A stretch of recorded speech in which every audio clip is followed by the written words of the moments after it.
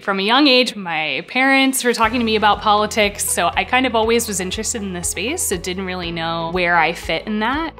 I studied abroad when I was an undergraduate, and while I was there, I realized whatever I do, I want to be able to help organizations like this have the resources to do the great work that they're already doing.